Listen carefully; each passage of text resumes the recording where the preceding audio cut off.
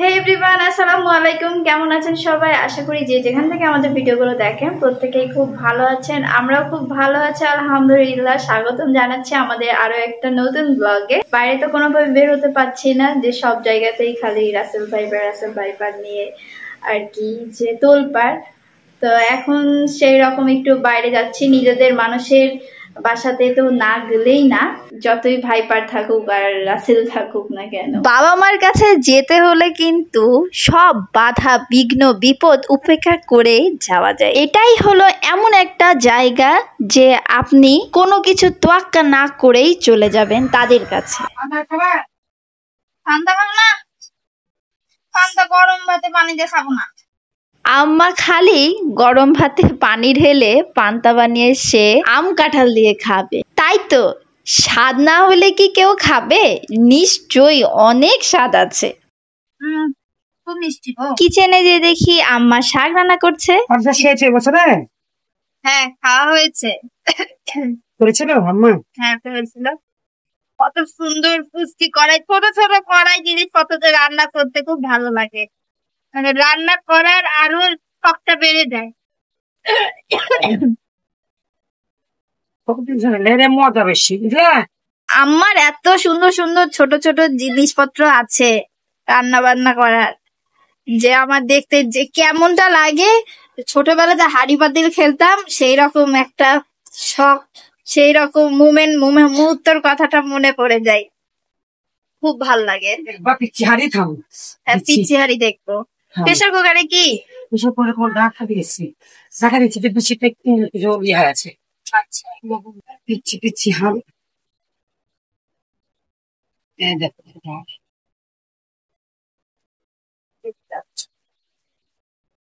দেখেন দেখেন কত সুন্দর।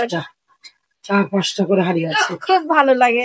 দেখো ভিডিওতে হয়তো সাইজটা সেভাবে বোঝা যাচ্ছে না বরঞ্চ মনে হচ্ছে বড়। আমি পিচকি কীভাবে বলছি এইরকম হতে পারে। কিন্তু অনেক ছোট সাইজ চারটা হারিয়ে হারিয়ে গেলে পিচকি পিচকি হাড়িটা?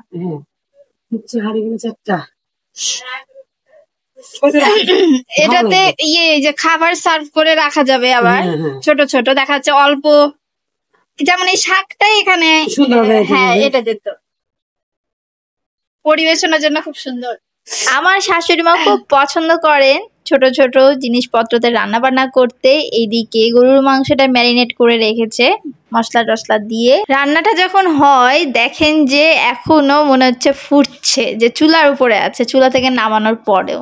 আর গরুর মাংস মানেই তো স্পেশাল একটা আইটেম যেটা যেমন ভাবে রান্না করা হোক না কেন এক কথায় অসাধারণ লাগে খেতে। আমাদের পরিবেশটা এখন রাসেল ভাইপার সাপটা নিয়ে খুবই হুলুস তুলুস একটা ব্যাপার হয়ে উঠছে। সেই জন্য কোনো বিষয় নিয়ে ইয়ার্কি করা যাবে না। আমরা প্রত্যেকেই সচেতন থাকব আমাদের সবকিছু নিয়েই সচেতন থাকা উচিত। আরে ভাইয়া ভাইয়া দেখে কি আসো শাড়িটা ভাইয়া খিদা লেগে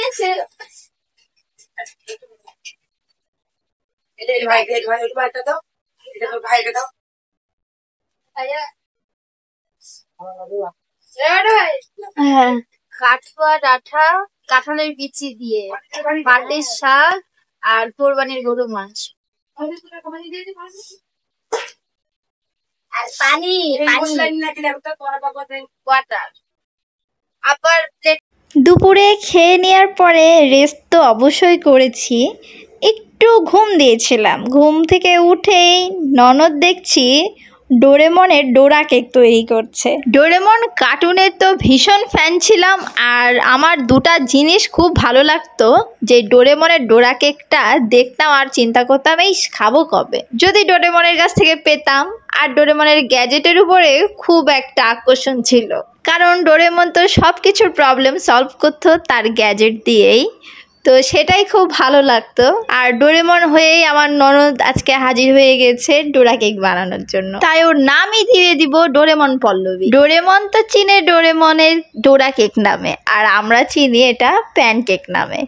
সো এটা শাশুড়ি মা এখন এসে টেস্ট করছে। কেকটা এতই সফট অ্যান্ড স্পঞ্জি যে খেতে দারুণ। বিকেলের নাস্তাতে কিংবা সন্ধ্যার নাস্তাতে এই রকম নতুন নতুন কিছু ডেজার্ট বানিয়ে পরিবারের সকল সদস্য মিলে যদি বসে একসঙ্গে খাওয়া যায়, তাহলে কিন্তু ব্যাপারটা বা বিষয়টা মন্দ হয় না। আজকের এই ভিডিওটা কেমন লেগেছে অবশ্যই কমেন্ট করে জানাবেন আর নতুন দর্শক হলে চ্যানেলটা সাবস্ক্রাইব করে আমাদের পাশে থাকবেন। সবাই খুব ভালো থাকবেন, আমাদের জন্য একটু দোয়া করবেন। আল্লাহ হাফেজ।